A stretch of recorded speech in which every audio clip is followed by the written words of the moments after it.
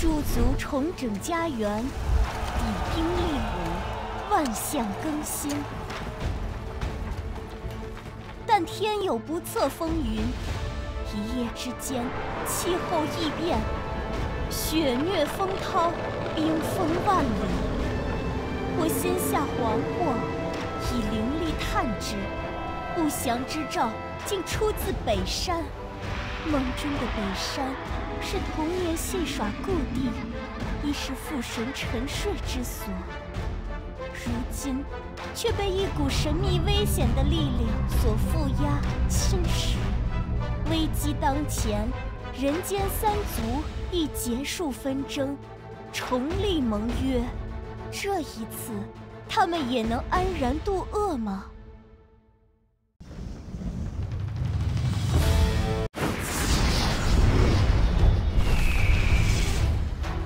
北山突发异象，大荒一遭驰于林木之央。轩辕、烈山、九黎约为同盟，三首领各率先锋，一路草行露宿，卧雪绵霜，遇山越海，终抵北山。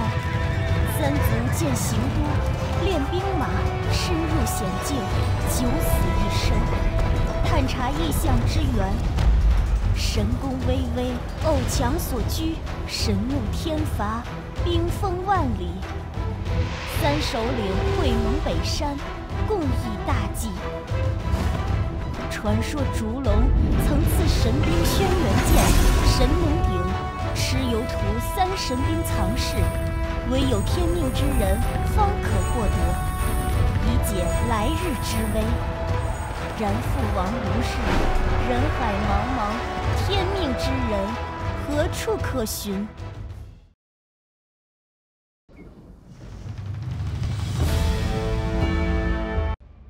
寒凶侵袭，北山异象频发，巨雪满山，迷雾游荡，独帐氤氲，云惑照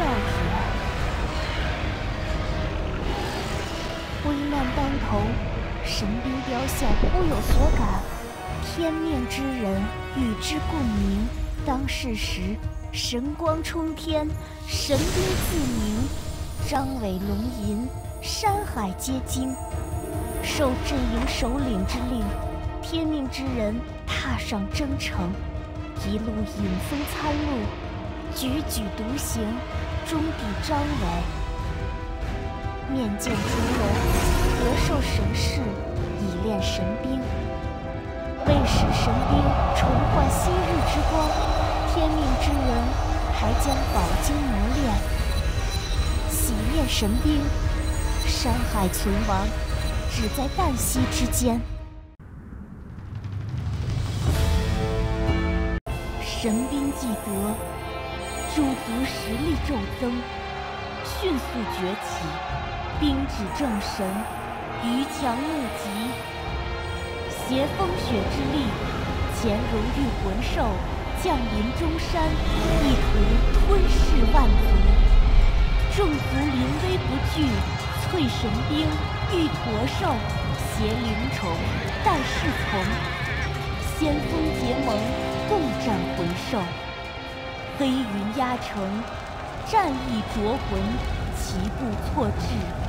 血亲焦土，烽火长燃，何时可休？大荒之危，何人终结？